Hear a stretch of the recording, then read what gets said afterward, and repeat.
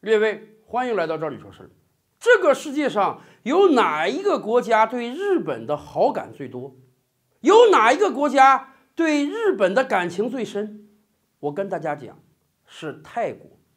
在此前的节目中，我们就说过呀，二战的时候，泰国可是日本的盟国呀。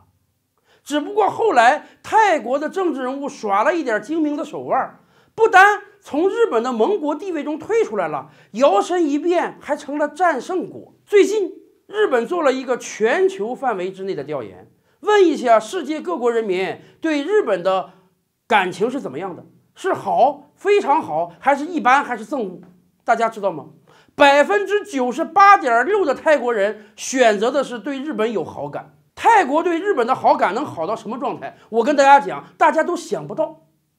就在前几天，泰国宣布正式批准从日本的福岛地区进口水产品。大家知道吗？三幺幺大地震过去七年了，全世界没有一个国家敢于说从福岛进口水产品，因为大家都知道，核辐射是一个长达几十年的过程，大家根本就不清楚。核辐射能够对福岛周边水域造成什么样的影响？今天，日本还有几百万吨核废水无法处理，日本还有几千万立方米的核废土无法处理。即便在日本的超市中，日本福岛自己捕获的水产品都要单独打上来自于核辐射地区的标号。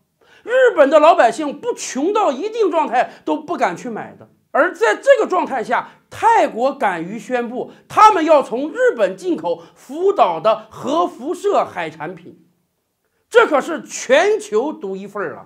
这是一股怎样的感情啊？大家不要忘了，就在前不久，因为韩国说我不进口日本的海产品，日本还到 WTO 去告韩国嘞，而泰国多好啊！根本不用你告，就是因为我对于大和民族有着无比深厚的民族感情，所以我要进口日本的核辐射海产品。这个消息出来，泰国也是举国哗然啊！很多泰国的环保组织都说，咱这政府是不是疯了？你进口谁不好？你进口日本的。更关键的是，泰国很多环保组织说，要求政府公布一下，你进口这些海产品都供应给哪些餐馆、哪些超市了。泰国政府说：“我就不公布，我不告诉大家我供应给谁了。”所以呀，未来要去泰国旅游的中国游客，你都要小心了，因为你在泰国吃到的海产品，说不定可是从日本的核辐射地区进口来的呀！